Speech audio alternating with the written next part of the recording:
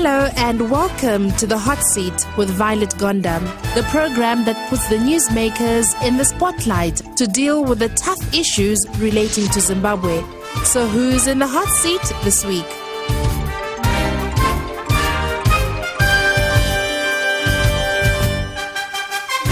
Welcome to Hot Seat with Violet Gonda. My guest today is former finance minister and uh, opposition leader Tendai Biti. In this first segment, the focus is on Zimbabwe's economic crisis. How bad is the crisis that has seen goats now being used as legal tender in some parts of the country? What did Mr. Biti uh, learn about how state finances are run? And if he was still in charge of the Treasury, what would he have done differently to avoid the bond notes? These and more questions covered on this episode of Hot Seat. Welcome, Mr. Biti. Uh, thank you, Violet.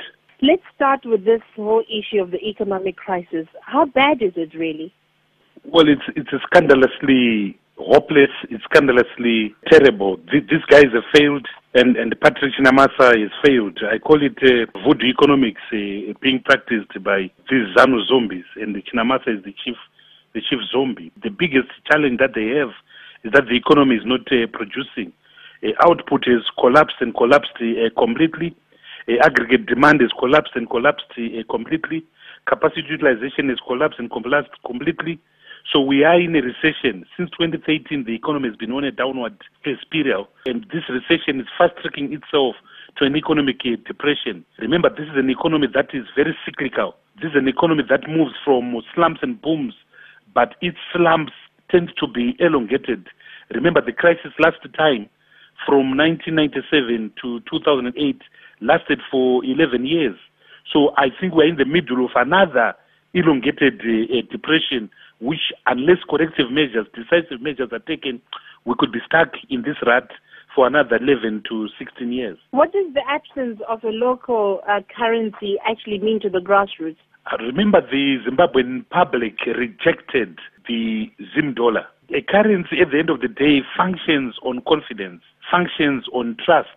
So if the citizen stops to believe in its currency, then you have a problem. In Zimbabwe, one of the key things that has collapsed is confidence. We have lost confidence in this regime.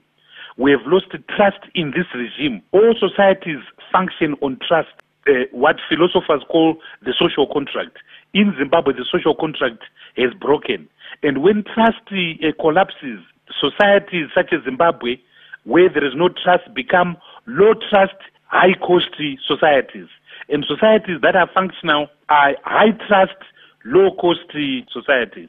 So coming to the issue of a currency specifically, Zimbabweans have got long memories. They remember how the Zimbabwean dollar was an instrument of arbitration, arbitrage. Zimbabweans know how the Zimbabwean dollar and hyperinflation stole away their, their wealth.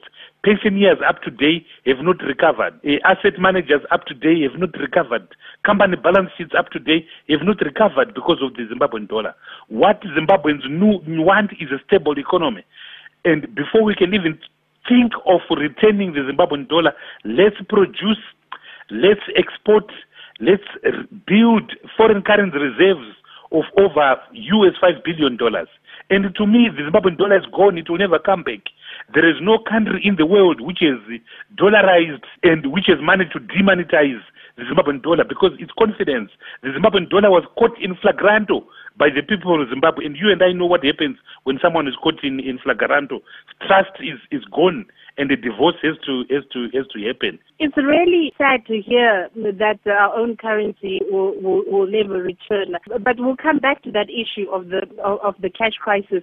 Let's just go back a bit to help us understand a bit more of um, this situation. What did you see in the GNU as finance minister? What were you able to uncover? Well, the, most important thing in running an economy and to running a government, running an organization is trust. The secret to good economics is to live within one's means. And I popularized the phrase, you eat what we, you kill. So we ran a, a, a regime of austerity. We didn't have money anyway. When I started in February of 2009, there was four million dollars in the in the in the in the in the bank, and in the entire in the in the government tre- in treasury, and in the entire uh, the entire broad money supply circulating in the country was a mere 250 million US dollars. By the end of the year, we built that to 2.2 billion dollars. So the first thing is live within your means, eat what you kill. So we ran a strict regime of cash budgeting. We had a budget office in respect of which we all set officials set and approved the priority of uh, priorities. We did not we did not borrow and we did not spend what we don't have. The problem with ZANU PF is that it suffers from a disease called fiscalitis which is the fictitious belief that they think money grows on trees. As I'm talking to you right now, the, the, the budget deficit as a percentage of GDP is over is over 43 percent. Domestic debt as a percentage of GDP GDP is over is over 60 percent. So it's absolutely ridiculous. They can't run the economy. There is no fiscal discipline. The second thing is that you have to create conditions for those that create wealth to create wealth. An economy doesn't run on controls. An economy doesn't run on structural instruments. An economy doesn't run on dirigism. You control everything. So we've got excessive taxes. We've got import restrictions. We've got structural instrument 64 of 2016. Capital can't breathe. And if capital can't breathe, capital will not produce. Thirdly, we need to attract foreign direct investment in this uh, country. We can only attract foreign direct investment if we are competitive. We are not uh, competitive. Our costs are too high. Look at the cost of our electricity. Look at the premium put by corruption in this country because every businessman who comes who wants to invest in Zimbabwe, there's a ZANU PF minister who wants a huge cut from him. So capital is fickle, it will go to other uh, other other places. Uh, look at the, the but, corrosive but, effect of the Mr. Indigenization Empowerment Act. Will invest $300 million when you are going to part with 51% of that. It doesn't make sense. So the long and short of it is that ZANU on their own can never run this economy. And it has been proved in the last four years that Chinamasa has been dawdling around as the Minister of Finance. When you were a Minister of Finance, um, when you were in government, billions of uh, uh, uh, dollars left the country or the, left the government. Can we unpack this issue of corruption that you mentioned briefly? Um, what did you actually see? What and what terrible decisions did you have to make on this issue? Government receives money from taxes. So the most important organ in, from a revenue collection point of view is the Zimbabwe Revenue Authority. So we didn't get a lot of money in the first year with the uh, uh, 900 million US dollars. In the second year, the budget was 2 billion US dollars. In the third year, we tried to make it to, to 4 billion US dollars. So money that is stolen in Zimbabwe is not being stolen from Treasury. Treasury has got strict rules and Treasury is subject to parliamentary oversight. People steal money from paro government operations and ZANU deliberately ran paro government operations as they are still doing today. The biggest paro uh, government operation were diamonds in Chiadzwa, where ZANU placed Obert Mpofu, that grand thief, to basically uh, circumvent diamond revenue coming to treasury. And you and I know Mugabe has admitted 15 billion US dollars left the country. The Paro government was in the form of uh, huge, huge uh, Paro resources that were ought to have gone to the consolidated revenue fund that were not ca- accounted for. This included the money that Tobaiwa Mudede collects from passports, birth certificates, and death certificates. This includes the huge millions and millions of dollars that Augustine Chihuri collects through uh, penalties and fines from the Zimbabwe uh, Republic Police. This includes huge fees that are collected from organs like EMA and and national parks. This includes millions and millions of dollars that are co- collected by poachers. This includes millions and millions of dollars in toll gates that are collected by by Zinara, for instance. So ZANU deliberately ran a paro government to deny a treasury a money and in the process to find their nefarious uh, patronage system which has kept them in power for the last 37 years. But there, there seems to be no limits, um, you know, based on what you're saying, to how much uh, people were taking out of the country. If you also look at what you mentioned that the president himself admitted that $15 billion left the country. Um, yeah. Looking back, do you, do you wish that you had some exchange control? Looking back, when you were finance minister, do, do you do you wish that you had had some exchange control, for example? Exchange controls were always always there. Uh, you you cannot move money in Zimbabwe without approval of the Reserve Bank. So capital accounts is is is is, is, is are there. Let me let me. I know where you are coming from. The first thing we did was we had to liberalize the capital account. As I said, when I started, there was a mere 250 million dollars in the in the in the in the in the system in the form of broad money supply. In order to attract the capital, capital in the form of foreign direct investments, capital in the form of diaspora remittances, capital in the form of overseas development assistance, we had to say anyone who wants to bring money, you can bring money because you can take it out that's why by the end of 2009, 2.5 billion, uh, sorry, 2.2 billion dollars were in the system. By the time I left in 2013, there was 5.5 billion US dollars in the system. We could only attract that because we allowed the capital account to be functional. So what has caused the shortage is not that people are taking out money. Remember, when you are taking out money, you are taking your money. You are not taking another person's money, which is a myth uh, that ZANU PF uh, has. Separate the issue of illicit financial flows. Illicit financial flows never get into the system, and the private sector is the number one perpetrator of illicit financial flows. So, if you take platinum, for instance, when tons and tons of platinum metals is shipped out of Zimbabwe, there are about 10 deriv- derivatives, including para, para, palladium, for instance, that is not fully accounted for uh, to, to, to, to Zimbabwe. So there's what is called transfer uh, pricing, there's what is called thin capitalization, and these are things that are hitting Zimbabwe. This is, this is the, uh, what is known as illicit financial flows. On the African continent, almost yearly, more than a trillion dollars is leaving the African continent. And in fact, ironically, more money is leaving the African continent in through illicit financial flows than money that is coming to Africa in the form of uh, aid. So this is a different debate uh, to the narrow question of liberalizing or not the capital account. What did you learn about the political executive and their traveling habits with money? Well, the the the, the it, well, I used to I used to expose it in my budget. It, it used to sadden me that uh, the traveling budget was always more than what we put to education. And there was one man who used to travel more than anyone else, and that was uh, uh, President Robert Mugabe. In one year, we spent 28 million US dollars on travel alone, and we spent on education other than salaries, we spent 9 million US dollars, and that was criminal. And in my time, they would make requests of uh, 2 million, 3 million, and I would just cut that, uh, the traveling expense. I know that after I've left, the taps are open. He goes away with $4 million, with 6 million US dollars. And part of the problem is not Robert Mugabe per se. Part of the problem is the entourage around him, which makes a killing when they travel with him because their per diems increase.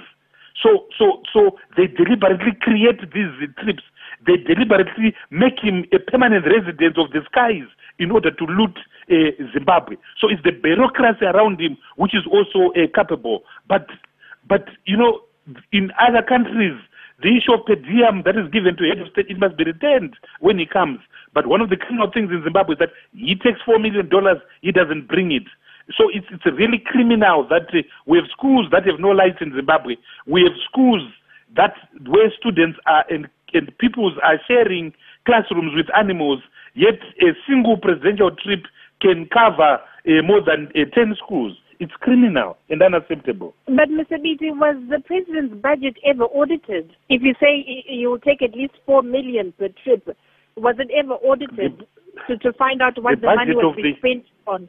The budget of the of the OPC is never is never audited. And thanks to British Westminster traditions, Remember, the, the Prime Minister uh, uh, was the executive, and under the Prime Minister, the intelligence operated, the, the CIO, just like M5 operates in the UK.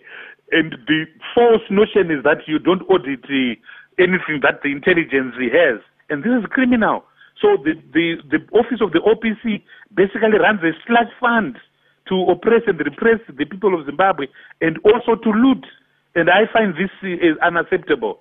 And I think that one of the unfinished business of constitutional reform is to revisit chapter 5 of our constitution, the chapter that deals with the, the creation of the imperial executive president, which we created. That institution must be liquidated. If we are going to have a president elected by parliament as the South Africans do, so be it. If we are going to resort to a Westminster prime ministerial uh, matrix, so be it. But a modern state like Zimbabwe, which has been abused by power, cannot allow, uh, for all intents and purposes, the reproduction of an imperial president such as the one codified in Chapter 5 of our Constitution. If the President was spending uh, at least 4 million per trip, uh, um, uh, the, the, the Prime Minister was also accused of globe-trotting. How much was he spending and was his budget audited? That The, the 4 million didn't happen under my watch, uh, Violet. That's happening now. That's that's happening now. That that that didn't happen under my watch. We would do restrict, uh, you know, you know, a trip to about 1.2 million and much of that was actually about 700,000 would actually go to the chat, uh, the the charter fees uh, for Air Zimbabwe. So that didn't happen under my watch. It's happening now.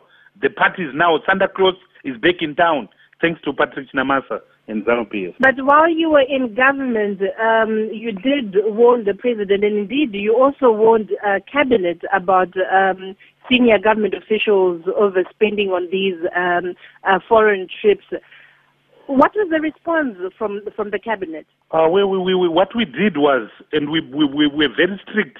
What we did was, in every budget, we put an amount for travel. And once the ministry exhausted that, that was the end of it. If you're going to go outside Zimbabwe, you had to be, you know, whoever was inviting you had to pay for your trip. And that, that, that worked. That worked, eh, you know. But part of the problem was that for any minister to travel, he has to get cabinet approval. In other words, the president has to approve. So you have a situation where ministers would then get cabinet approvals. They would come to treasury and would say, look, my friend, you exhausted your money.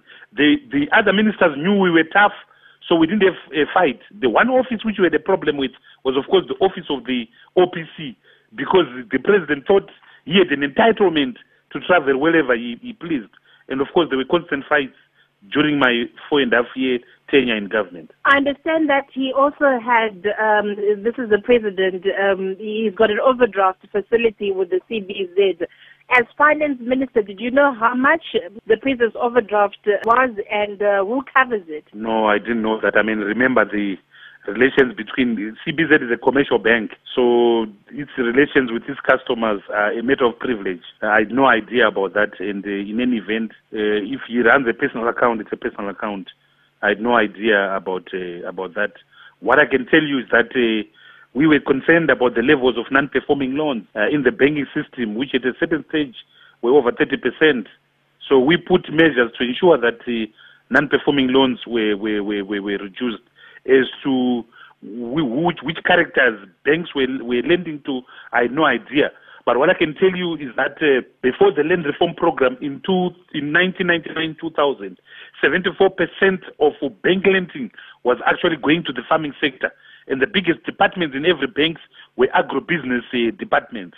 With the collapse of land as collateral following the land reform program, it's said that 37 years after independence, the biggest borrower from the banks are actually individuals.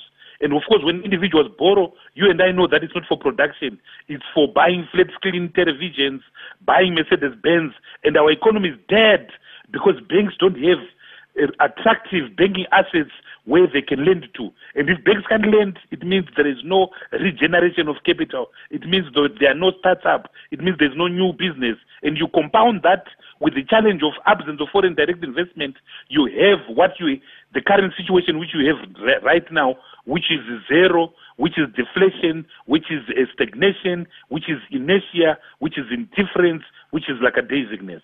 So, uh, coming back to the issue of uh, the cash crisis, uh, do you regret uh, choosing the US dollar and not the, the rand, for example, um, since South Africa is Zimbabwe's largest trading partner? Look, again, I know where you're coming from. That question can't arise because we adopted both the rand and the US dollars. We adopted a regime of multiple uh, currencies.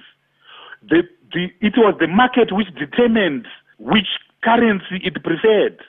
And of course, the, the predominant uh, mode of exchange is the US dollars. Even South Africa itself, despite the fact that they use the rand, they want our uh, uh, importers to pay using the US dollar because the US dollar is more uh, uh, uh, is more steady and the rand is volatile. So it was not government. It was not government. It was not the Minister of Finance which determined the preference of a currency. And remember, if you go to my statement of the 17th of March 2009, when I introduced this step and I revised the, the budget, I made it clear that the currency of reference was actually the, the, the, the rand. But to answer your next question, which you haven't asked, it doesn't matter whether we use the rand or the US dollar or the Chinese renminbi or the Nigerian naira, unless we have the basics right, we'll just bastardize that currency, the way we've bastardized the Zim dollar, the way we've bastardized the Bearer check, the way we've bastardized the US dollar, the way we've bastardized the bond note, we have to get the fundamentals right. And fundamentals are three things. Number one, we have to produce because when we produce, we sell to other countries, and when we sell to other countries, we accumulate uh, uh, reserves. Right now, we have got one week of import cover, which are SDRs, special drawing rights, that I left which are in, in, in, in, in, in Washington, D.C., at the IMF in Pennsylvania uh, Avenue. We have no reserves. We have to build reserves. Number two, we have to manage the economy well. If the government is bloated and spends too much money, it will overborrow. And when it overborrow, that will put pressure uh, on the on the on the on, on, on the on the currency. Uh, so those are the things that we have to do. And unless we attend to those uh, fundamentals. It doesn't matter which currency you can bring. But Mr. Biti, some economists will actually disagree with that because they will say, yes, the rand was used, uh, especially in Bulawayo, but the preferred currency was actually the, the, the dollar. And um, this made it easier for corrupt elements to smuggle the US dollar out of the country. Uh, uh, you know, as the, the, the, the, rand would have been much much harder to smuggle out of the country as, as why, it why? is not a, an international why? currency. Why? Because it's not why? an international currency. Oh, because the rand is an international currency. currency. The rand is an international. Who says the rand is not an international currency? As, These as, are fictitious arguments. The These dollar. are fictitious arguments that are being used by people who have failed. The problem we have right now, the cash shortages, is not a, the result of the currency which we are using.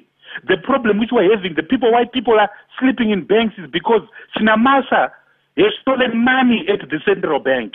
The, the government is maintaining an overdraft facility at the central bank.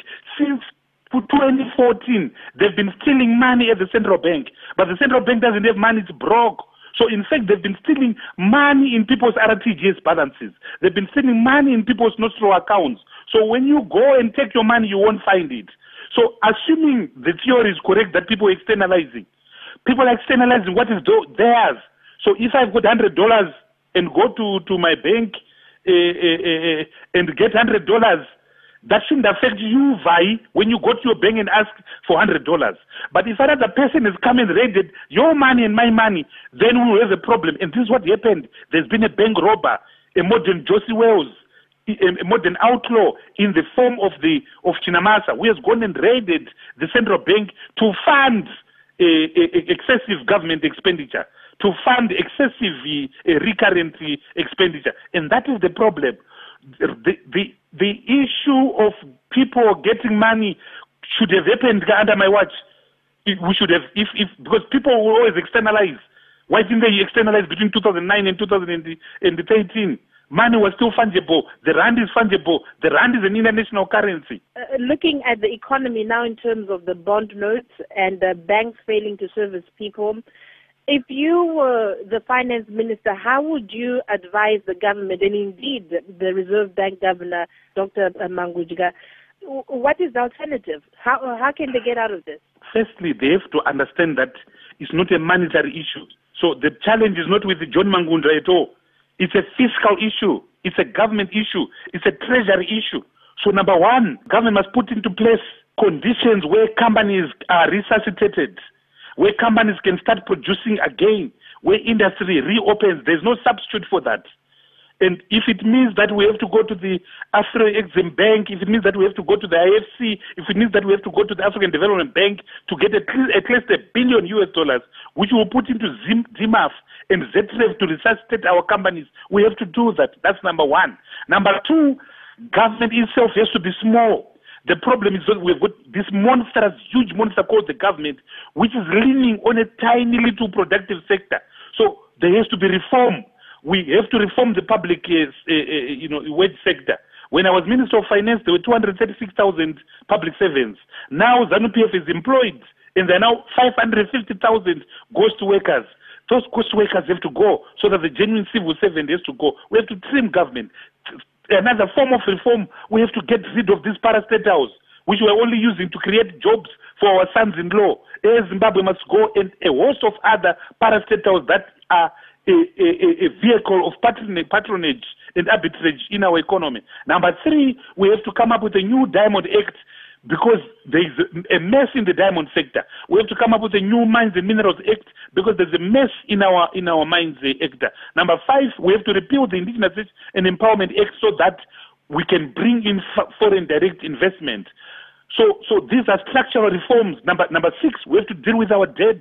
This country has got a sovereign debt of over 10 billion US dollars, and that debt is putting a premium on our country. So we have to we have to have a, a, a debt cancellation, a genuine debt cancellation program with the World Bank, with the IMF. So these are few of the things we have to do. But the biggest the biggest premium on our economy, the biggest sanction on our economy is ZANU PF. So everything I'm saying at is technical. The real elephant in the living room is ZANU PF. The real solution to this country moving forward, the real solution to finding a sustainable solution is how we deal with the creature called ZANU-PF. So ultimately, the question is not even about fiscal discipline. Ultimately, the question is how do we deal with the creature and monster called ZANU-PF? It therefore becomes political, not economical. Well, that is the million uh, dollar question, and I hope um, you we will be able to continue with this conversation next week where we will talk about um, the political uh, situation in the country, the state of the opposition, and uh, issues of the coalitions as political parties start preparing for elections next year. Thank you very much, um, Mr. Tendai Biti, for talking to us on the program.